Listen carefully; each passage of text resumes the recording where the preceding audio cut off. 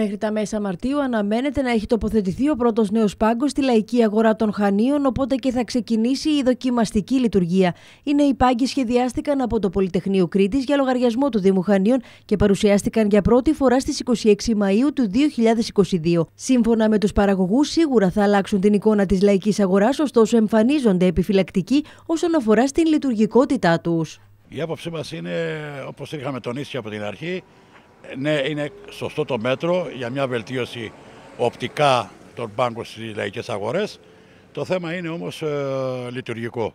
Δηλαδή υπάρχουν κάποια προβλήματα όπως παραδείγματος χάρη ε, το στήσιμο των μπάνκων καταρχήν απαιτεί πάρα πολύ ώρα γιατί είναι κομμάτια-κομμάτια. Πρώτον αυτό και δεύτερον και όταν τελειώνουμε πάλι θα απαιτείται χρόνος για να γίνει η αποσύνδεση για να τον εφορτώσουμε στα αυτοκίνητα. Όπως επισημαίνει ο πρόεδρος των παραγωγών της λαϊκής αγοράς των Χανίων Κώστας Καψομενάκης, τέτοιες κατασκευές απαιτούν μεγάλους και ανοιχτούς χώρους. Έχουμε θέμα και ως προς το στήσιμο των μπάνκων σε διάφορους δρόμους, όπως παραδείγματος χάρη, άμα είναι στενοί δρόμοι, ε, στείνουμε τον μπάγκο. Πίσω μας έχουμε δέντρα, έχουμε σήματα της τροχέας, ε, στήλους της ΔΕΗ κτλ. Πώς θα στηθούν αυτά τα πράγματα; Η άποψη μας είναι ότι αυτοί οι πάγοι ναι, μεν καλώς γίνονται, αλλά θα είναι καλά να τοποθετούνται σε χώρους όπως είναι να είναι μια πλατεία, ένας ανοιχτός χώρος που να μην παρεμποδίζονται το άνοιγμα του πάγκου.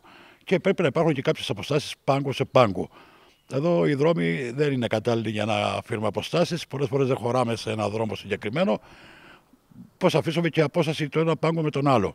Πάντως, όπως είχε τονίσει κατά την παρουσίαση των εν λόγω πάγκων, ο αρμόδιος αντιδήμαρχος Γιάννης Νικηφοράκης, στόχος είναι ο εξυγχρονισμός της λαϊκής αγοράς. Πάγκοι θα έχουν διαφορετικά χρώματα.